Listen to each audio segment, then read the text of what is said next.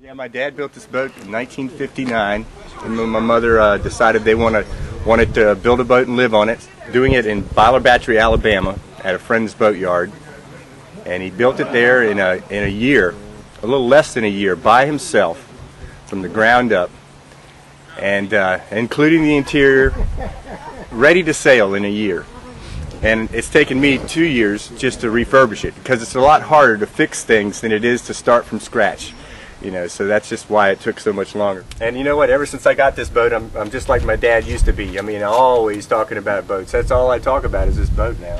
I I used a needle gun for seven hours on that one area, and then later on, I ended up sanding this down with.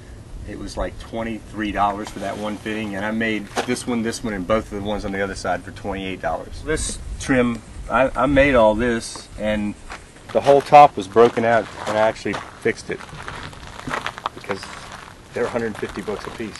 So I welded, I made these little U brackets in there and I, I, made it flush with a quarter inch drop. If I if I spill a cup of coffee in front of the wheel, it goes right out the scuppers right now.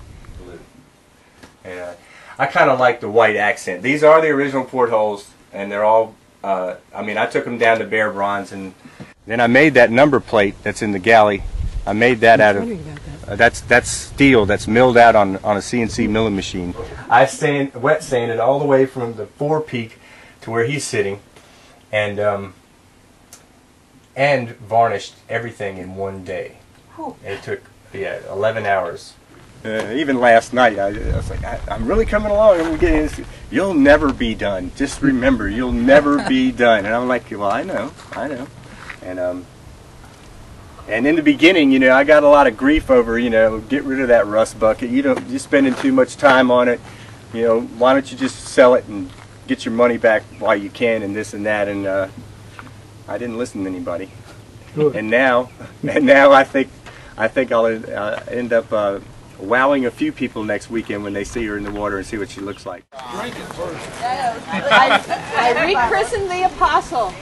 May God bless all who sail on her. Oh well, so much for it staying on board. you did good. Great job. Better stay on Check it over, Kevin. Do any harm? Yeah, you messed up my paint job.